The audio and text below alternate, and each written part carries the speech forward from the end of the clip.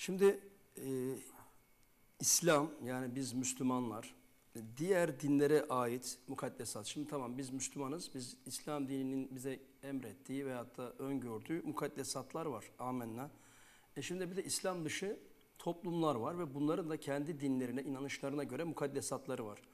Biz Müslümanlar olarak hocam bu yani İslam dışı e, toplumların kendi mukaddesat saydığı şeylere bakışımız nasıl olmalı?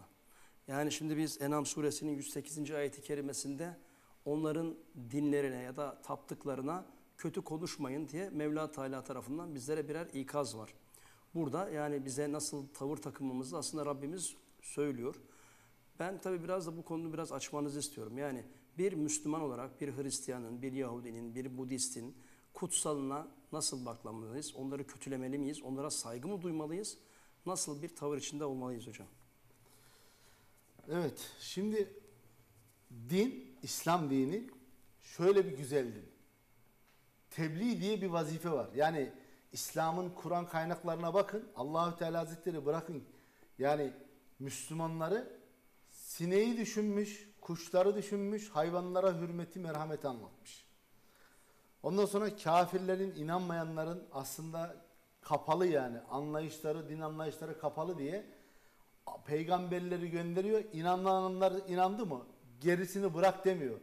Yine kafirleri anlatmaya devam et diyor. Tebliğ diye bir şey vardır İslam'da. Yani İslam dini öyle bir din ki hayvanı da düşünür, canlıyı da düşünür, ormanı da düşünür, yeşilliği, doğayı da düşünür. İnanmayanları da düşünür. Çünkü adam o ara hastalık halinde. Ruhu hasta adamın. Yani İslam anlatılıyor ama kalbini örtmüş. Harem yaşantıyla Allah'ın verdiği o nuru kendinde ne yapmış? Söndürmüş.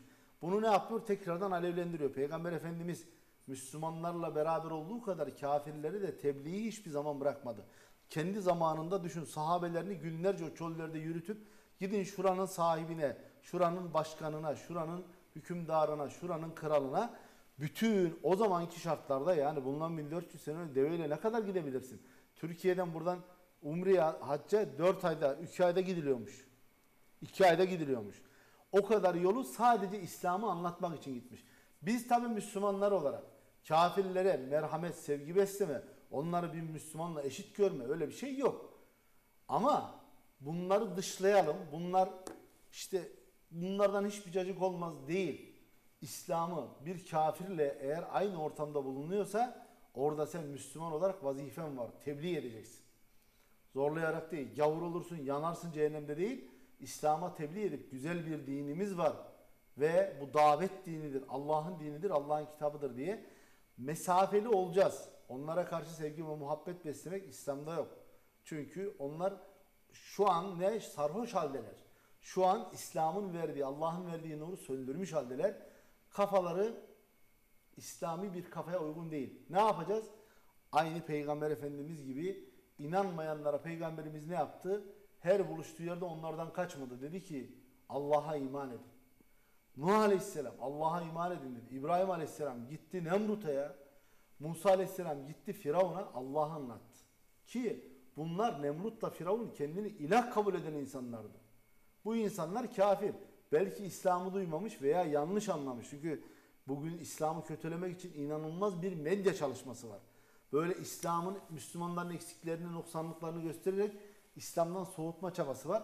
Ama sanki Hristiyanlıkta, Yahudilikte bir şey yokmuş gibi gayet şirin şirin şeyler gösteriyorlar. Argümanlar kullanıyorlar. İşte video koyuyorlar, resim koyuyorlar filan. Halbuki İslam kadar merhametli bir din, sahih bir din, doğru bir din yok yani. Diğerleri hep batıl olmuş, tahrif edilmiş dinler.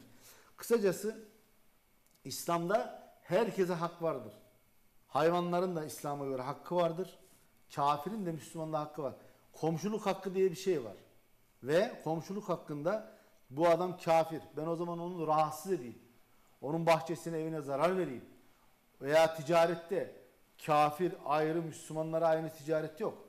Kaça satıyorsun Müslümana? 50 kuruşa mı satıyorsun? Kafire de aynısını satacaksın. Yani zulüm ona bir insan gözüyle bakarak İslam ona zulme müsaade etmiyor. Ama bizde herkes şeyde kafirleri ne yaptık görüyor musun falan. Yani böyle bu da nereden? İşte İslam'ı öğrenmemişiz. Kendimize göre bir İslam oluşmuş. Şimdi herkesin kafasında bir İslam var yani. O kendine göre bir İslam. Mesela e, adamın birisi şöyle yapmış. Çöp çöpe atacakmış pet şişeyi. Atmış pet şişe e, çöpten dışarı gelmiş. Başka bir abi diyor ki onun için. Hocam geçen diyor birisi böyle yaptı diyor. Ben ona dedim senin namazların filan boşa. Ha, olayı anlatabildim mi? Yani o adamın kafasında ne var? O olmayacaktı. Ya tamam o adam bilerek yapmadı. Çöpe atmış dışarı gitmiş. Çünkü diyor İslamiyet en nezafetü minel iman. Temizlik imandandır.